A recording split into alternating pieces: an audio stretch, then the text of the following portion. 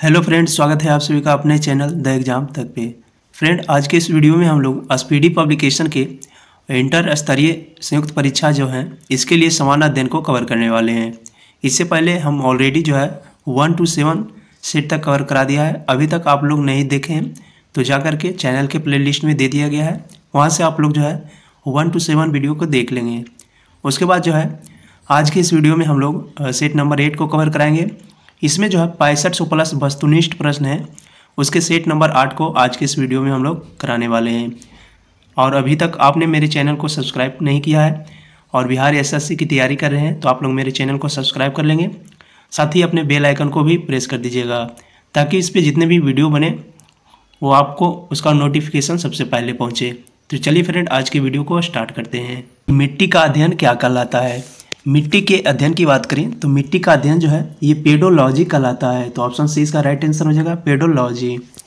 इसमें फ्रेंड सारे प्रश्न जो है मोस्ट इम्पोर्टेंट है तो आप लोग जो है वीडियो को थोड़ा भी स्किप ना करें। और अगर आपको जो है, इसका आंसर पता है तो आप लोग कमेंट में भी इसका जवाब दे सकते हैं। अगला प्रश्न है कि चट्टानों का अध्ययन क्या कहलाता है? चट्टानों के अध्ययन की बात करें तो पेट्रोलॉजी जो है, ये चट्टानों का अध्ययन कहलाता है। तो ऑप्शन बी इसका राइट आंसर हो जाएगा पेट्रोलॉजी अगला प्रश्न है कि पुरानी जलोढ़ मिट्टी को क्या कहा जाता है? पुरानी जलोढ़ मिट्टी की बात करें तो पुरानी जलोढ़ मिट्टी को जो है, ये बांगर कहा जाता है और नई जलोढ़ मिट्टी को खादर. यहाँ पुरानी पूछा तो पुरानी को जो है, ये बांगर कहा जाता है। अगला है कि सौंपसेन कहाँ की मूल जनजाति है? सौंपसेन की बात करें तो सौंपसेन जो जनजाति है, ये निकोबार द्वीप समूह की जनजाति है। औंग जनजाति का निवास स्थान कहाँ पर है? औंग की बात करें तो औंग जनजाति का जो निवास स्थान है, ये छोटा अनुमान है। छोटा अनुमान इसका राइट आंसर हो जाएगा। झीलों के अध्ययन को क्या कहा जाता है? झीलों का अध्ययन जो है, झीलों का अध्ययन ये निम्नोलॉजी कहलाता है। तो ऑप्शन ए इसका राइट आंसर हो जाएगा, निम्नोलॉजी। कावेरी जल विवाद किन दो राज्यों के बीच है? कावेरी की बात करें तो कावेरी जल विवाद जो है, ये कर्नाटक और तमिलनाडु राज्यों के बीच है। कर्नाटक और तमिलनाडु राज्यों के बीच जो है कावेरी जल विवाद है। अगला प्रश्न है कि धुआंधार जलप्रपात की किस नदी पर स्थित है? धुआंधार जलप्रपात की बात करें तो यह जो है धुआंधार जलप्रपात ये नर्मदा नदी पर स्थित है। कावेरी नदी का उद्गम स्रोत है। कावेरी नदी के उद्गम स्रोत की बात करें तो कावेरी नदी का जो उद्गम स्रोत है, ये ब्रह्मगिरी की पहाड़ी है। ब्रह्मगिरी की पहाड़ी जो कि कावेरी नदी का उद्गम स्रोत है। शिव समुद्रम जलप्रपात किस राज्य में है? शिव समुद्रम जलप्रपात की बात करें तो यह जो है कावेरी नदी पर स्थित है और यह जो है कर्नाटक में स्थित है। शिव समुद्रम जलप्रपात किस नदी पर स्थित है? शिव समुद्रम जलप्रपात की बात करें तो शिव समुद्रम जलप्रपात जो है, ये कावेरी नदी पर स्थित है। दक्षिण गंगा या फिर बिरद गंगा कहलाती है। दक्षिण गंगा या फिर बिरद गंगा की बात करें तो यह जो है गोदावरी नदी कहलाती है। तो गोदावरी ऑप्शन सी इसका राइट आंसर हो जाएगा। असम का शोक किस नदी को कहा जाता है? असम का शोक की बात करें तो ब्रह्मपुत्र नदी को जो है असम का शोक कहा जाता है। अगला प्रश्न है कि भारत की जलवायु है। भारत के जलवायु की बात करें तो भारत के जलवायु जो है, ये उष्ण कटिबंधीय मानसूनी है। ऑप्शन ए इसका राइट आंसर हो जाएगा उष्ण कटिबंधीय मानसूनी। रेगुर मिट्टी का रेगुर मिट्टी के नाम से जाना जाता है। रेगुर मिट्टी की बात करें तो काली मिट्टी को जो है, ये रेगुर मिट्टी के नाम से भी जाना जाता है। अगला प्रश्न है कि गुजरात की जीवन रेखा कहलाती है। गुजरात की जीवन रेखा जो कि नर्मदा नदी कहलाती है। नर्मदा नदी जो कि गुजरात की जीवन रेखा कहलाती है। चिल्का झील किस प्रकार की झील है? चिल्का झील की बात करें तो यह जो है लैगुन झील है। तो लैगुन ऑप्शन डी इसका राइट आंसर हो जाएगा। विश्व का सबसे बड़ा मानव निर्मित झील कौन सा है? विश्व का सबसे बड़ा मानव निर्मित झील जो कि मेड झील है। अगला प्रश्न है कि ओडिशा का शोक किस नदी को माना जाता है? ओडिशा का शोक की बात करें तो ब्राह्मणी नदी को जो है उड़ीसा का सुख माना जाता है। छिपरा किसकी सहायक नदी है? छिपरा की बात करें तो छिपरा जो है, ये चंबल की सहायक नदी है।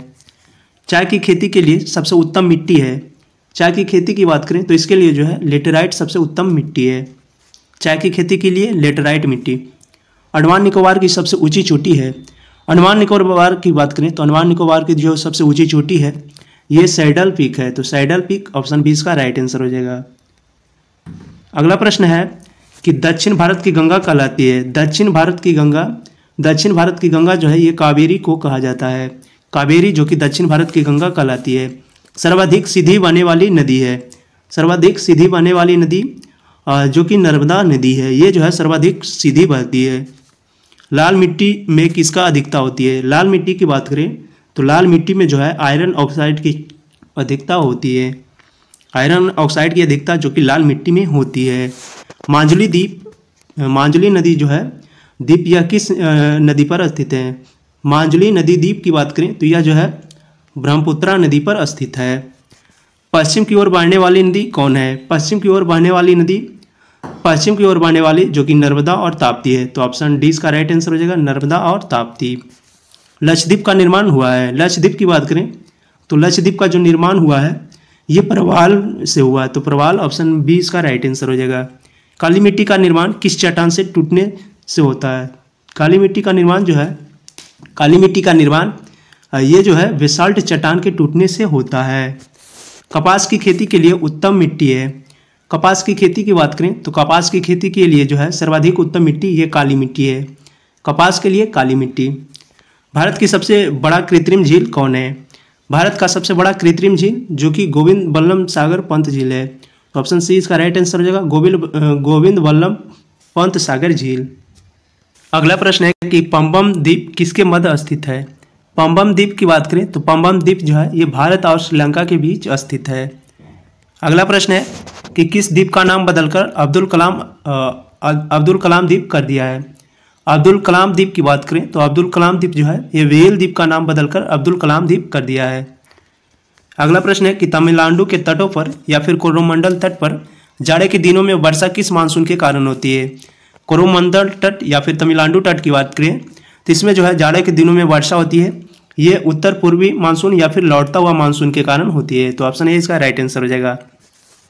भारत में अधिकांश वर्षा होती है। भारत में अधिकांश वर्षा की बात करें तो दक्षिण पश्चिमी मानसून से जो है, भारत में सर्वाधिक वर्षा होती है। लक्षद्वीप के लोग लोग कौन सी भाषा बोलते हैं? लक्षद्वीप की बात करें तो इसके जो लोग हैं, ये मलयालम भाला, भाषा बोलते हैं। मलयालम भाषा, जो कि लक्षद्वीप के लोग बोलते हैं। नवीन जलोढ़ मिट्टी को क्या कहा जाता है? नवीन जलोढ़ मिट्टी की बात करें तो नवीन जलोढ़ मिट्टी को जो है, खादर मिट्टी कहा जाता है। दक्षिण भारत की सबसे लंबी नदी कौन है? दक्षिण भारत की सबसे लंबी नदी जो कि गोदावरी नदी है। गोदावरी नदी, जो कि दक्षिण भारत की सबसे लंबी नदी है। बिहार का शोक किस नदी को कहा जाता है? बिहार के शोक की बात करें तो बिहार का शोक जो है, ये कोसी नदी को कहा जाता है। अगला प्रश्न है कि रवि फ़सल की बुआई कब की जाती है? रवि फ़सल की बुआई की बात करें तो रवि फ़सल की बुआई जो है, ये अक्टूबर, नवंबर में की जाती है। खरीफ फ़सल कौन सी है? खरीफ फ़सल की बात करें तो खरीफ फ़सल जो है मक्का जो है एक खरीफ फ़सल है। चना, मटर जो, ये जो है रवि फ़सल है। तो हम मक्का ऑप्शन सी इसका राइट आंसर हो जाएगा। अगला प्रश्न है कि लक्षद्वीप में द्वीपों की कुल संख्या कितनी है?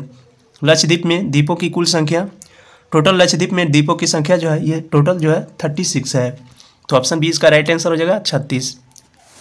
खरीफ फ़सल की बुआई कब की जाती है? खरीफ फ़सल की बुआई की बात करें तो खरीफ फ़सल की बुआई जो है, ये जून, जुलाई में की जाती है। रबी फ़सल कौन सी है? रबी फ़सल की बात करें तो रबी फ़सल जो है, गेहूँ जो है, एक रबी फ़सल है। तो गेहूँ ऑप्शन ए इसका राइट आंसर हो जाएगा। चलिए अब हम लोग अगले प्रश्न को देखते हैं। अगला प्रश्न है कि नागालैंड राज्य की राजभाषा क्या है? नागालैंड की बात करें तो राजभाषा जो है, ये अंग्रेज़ी है। अंग्रेज़ी जो है, नागालैंड की राजभाषा है। राष्ट्रीय सोयाबीन अनुसंधान केंद्र कहाँ स्थित है?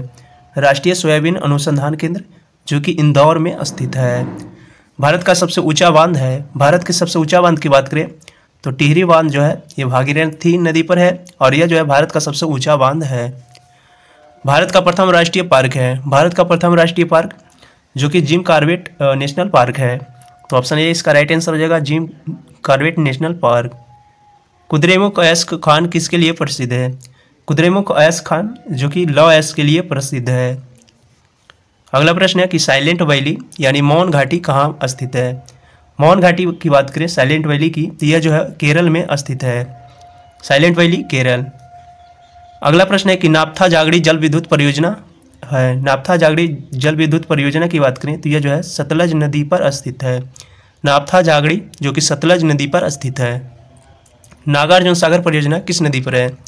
नागार्जुन सागर परियोजना, जो कि कृष्णा नदी पर स्थित है। कोलार की खान किस लिए प्रसिद्ध है? कोलार की खान की बात करें तो कोलार की खान जो है, ये सोना के लिए प्रसिद्ध है और यह जो है कर्नाटक में स्थित है। एलिफेंट जल प्रपात कहाँ स्थित है? एलिफेंट जलप्रपात की बात करें तो यह जो है मेघालय में स्थित है। हीराकुंड बाँध कहाँ स्थित है? हीराकुंड बाँध की बात करें तो हीराकुंड बाँध जो है, ये भागी हीराकुंड बाँध महानदी पर स्थित है और यह जो है उड़ीसा में स्थित है।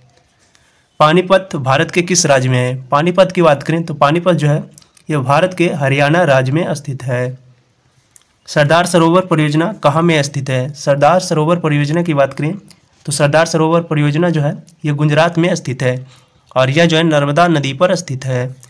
वन अनुसंधान संस्थान कहाँ है? वन अनुसंधान संस्थान जो कि देहरादून में स्थित है। अयोध्या किस नदी के तट पर स्थित है। अयोध्या की बात करें तो यह जो है सरयू नदी के तट पर स्थित है। पोंग बाँध किस राज किस नदी पर स्थित है? पोंग बाँध की बात करें तो पोंग बाँध जो है, ये ब्यास नदी पर स्थित है। अगला प्रश्न है कि दाची ग्राम राष्ट्रीय उद्यान कहाँ स्थित है? दाची ग्राम राष्ट्रीय उद्यान जो कि जम्मू कश्मीर में स्थित है। थीन बाँध किस नदी पर स्थित है? थीन बाँध की बात करें तो थीन बाँध जो है, ये रावी नदी पर स्थित है। उरी जल विद्युत परियोजना कहाँ में स्थित है? उरी जल विद्युत परियोजना उरी जो कि जम्मू कश्मीर में स्थित है। मानस राष्ट्रीय उद्यान कहाँ स्थित है? मानस की बात करें तो मानस राष्ट्रीय उद्यान जो है, ये असम में स्थित है। केसर उत्पादक का एकमात्र राज्य है। केसर उत्पादन की बात करें तो केसर उत्पादक का एकमात्र राज्य, जो कि जम्मू कश्मीर है। नंदकानंद उद्यान कहाँ स्थित है? नंदकानंद उद्यान की बात करें तो ये उद्यान जो है, उड़ीसा में स्थित है। नंदकानन राष्ट्रीय उद्यान जो कि उड़ीसा में स्थित है। अलमाटी बाँध किस नदी पर स्थित है? अलमाटी बाँध की बात करें तो अलमाटी बाँध जो है, ये कृष्णा नदी पर स्थित है। तो कृष्णा ऑप्शन डी इसका राइट आंसर हो जाएगा। भारतीय लॉ अनुसंधान संस्थान कहाँ है? भारतीय लॉ अनुसंधान संस्थान जो कि रांची में स्थित है। लाह जो कि रांची। भारतीय लॉ अनुसंधान केंद्र जो कि रांची में स्थित है। भारत का सबसे लंबा बाँध कौन सा है? भारत का सबसे लंबा बाँध, जो कि हीराकुंड बाँध है, और यह जो है महानदी पर स्थित है, और ये जो है उड़ीसा में स्थित है। समुद्री उत्पादों का सबसे बड़ा उत्पादक है। समुद्री उत्पादों का सबसे बड़ा उत्पादक, जो कि केरल है। तो केरल, इसका राइट आंसर हो जाएगा। इडुक्की परियोजना किस नदी पर स्थित है? इडुक्की परियोजना की बात करें तो इडुक्की परियोजना जो है, ये पेरियार नदी पर स्थित है। अगला प्रश्न है कि अगला प्रश्न है, कोयल कारो जल कोयल कारो विद्युत परियोजना कहाँ में स्थित है? कोयल कारो विद्युत परियोजना की बात करें तो ये जो है झारखंड में स्थित है। हुंडरू जलप्रपात किस नदी पर स्थित है? हुंडरू की बात करें तो हुंडरू जलप्रपात जो है ये स्वर्ण रेखा नदी पर स्थित है। रणथम्भौर राष्ट्रीय उद्यान कहाँ स्थित है? रणथम्भौर राष्ट्रीय उद्यान जो कि राजस्थान में स्थित है। तो राजस्थान ऑप्शन बी इसका राइट आंसर हो जाएगा। हैदराबाद किस नदी के तट पर स्थित है? हैदराबाद की बात करें तो हैदराबाद जो है, ये मूसी नदी के तट पर स्थित है।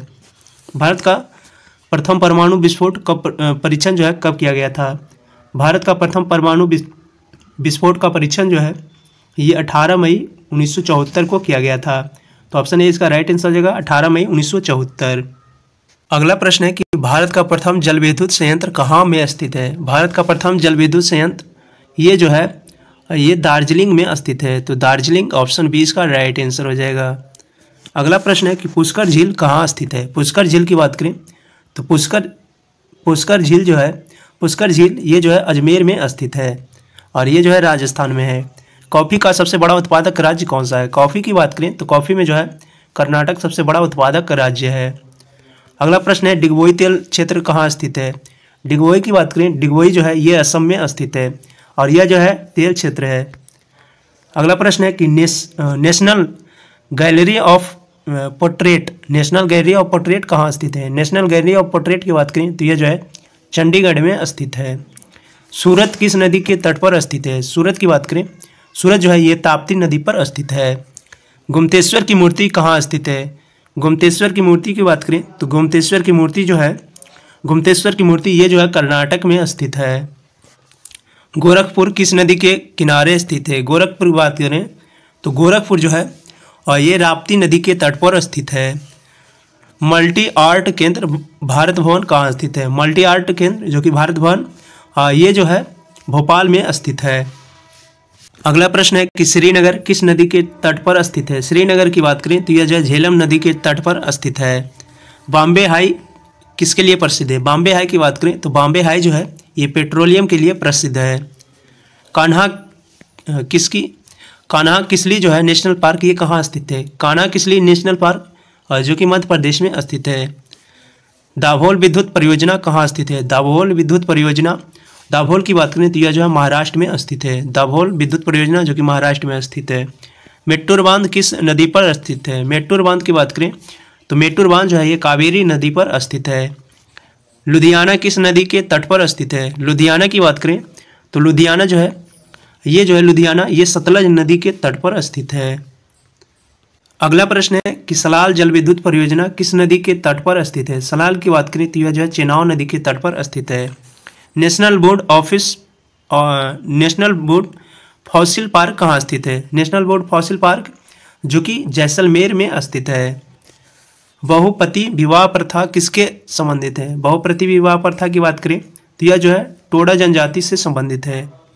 अगला प्रश्न है कि नेहरू पर्वतारोहण संस्थान कहाँ स्थित है? नेहरू पर्वतारोहण संस्थान, जो कि उत्तराखंड में स्थित है। तो उत्तराखंड ऑप्शन डी इसका राइट आंसर हो जाएगा। अगला प्रश्न है कि तीन प्रसिद्ध बौद्ध स्थल, जो कि रत्नागिरी ललितगिरी, उदयगिरी, ये जो तीनों हैं, ये किस राज्य में स्थित है? ये तीनों जो कि उड़ीसा में स्थित है। जो कि तीनों जो है बौद्ध स्थल हैं, रत्नागिरी, ललितगिरी, उदयगिरी। अगला प्रश्न है कि केवला देव घाना पक्षी अभ्यारण कहाँ स्थित है? केवला देव घाना पक्षी अभ्यारण जो कि राजस्थान में स्थित है। तो राजस्थान ऑप्शन बी इसका राइट आंसर हो जाएगा। अगला प्रश्न है कि नोकरेक वायोस्फीयर रिज़र्व कहाँ स्थित है? नोकरेक वायोस्फीयर रिज़र्व जो कि मेघालय में स्थित है। गांधी सागर बाँध किस नदी पर स्थित है? गांधी सागर बाँध की बात करें तो गांधी सागर बाँध जो है, ये चंबल नदी पर स्थित है। गंगा सागर प्रोजेक्ट किस राज्य में स्थित है? गंगा सागर प्रोजेक्ट की बात करें तो यह जो है, उत्तराखंड में स्थित है। गोवा राज्य की आधिकारिक भाषा क्या है? गोवा राज्य की आधिकारिक भाषा जो कि कोकनी है।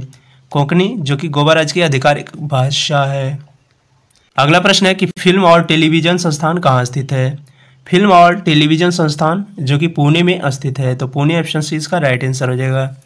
अगला प्रश्न है कि बगलीहारी बाँध किस नदी पर बनाया गया है? बगलीहारी बाँध जो कि चिनाव नदी पर बनाया गया है। तो चिनाव ऑप्शन सी इसका राइट आंसर हो जाएगा। अगला प्रश्न है कि हुसैन सागर झील कहाँ स्थित है? हुसैन सागर झील की बात करें तो हुसैन सागर झील जो है ये तेलंगाना में स्थित है। अगला प्रश्न है कि हरिहर नाथ के मंदिर कहाँ स्थित है? हरिहर नाथ के मंदिर जो है ये सोनपुर में स्थित है। सोनपुर में जो है हरिहर नाथ के मंदिर स्थित है। अगला प्रश्न है कि इंडियन इंस्टीट्यूट ऑफ़ पेट्रोलियम कहाँ स्थित है? इंडियन इंस्टीट्यूट ऑफ़ पेट्रोलियम जो कि देहरादून में स्थित है। तो ऑप्शन सी इसका राइट आंसर हो जाएगा, देहरादून। देहरादून में जो है इंडियन इंस्टीट्यूट ऑफ़ पेट्रोलियम संस्थान स्थित है। अगला प्रश्न है कि भारत का प्रथम नगर निगम कहाँ में स्थापित किया गया? भारत का प्रथम नगर नगर निगम जो है, भारत का प्रथम नगर निगम ये जो है मद्रास में स्थित है। तो मद्रास ऑप्शन डी इसका राइट आंसर हो जाएगा।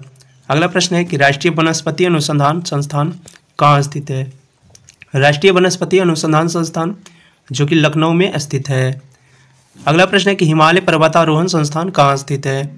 हिमालय पर्वतारोहण संस्थान, हिमालय पर्वतारोहण संस्थान, जो कि दार्जिलिंग में स्थित है। तो दार्जिलिंग ऑप्शन भी इसका राइट आंसर हो जाएगा।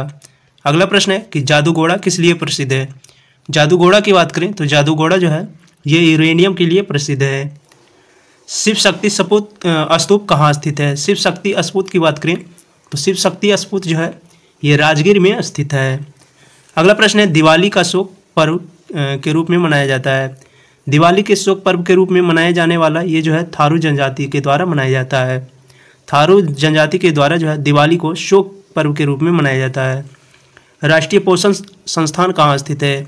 राष्ट्रीय पोषण संस्थान जो कि हैदराबाद में स्थित है। राष्ट्रीय पोषण संस्थान जो कि हैदराबाद में स्थित है। हेरिटेज होटल कहाँ स्थित है?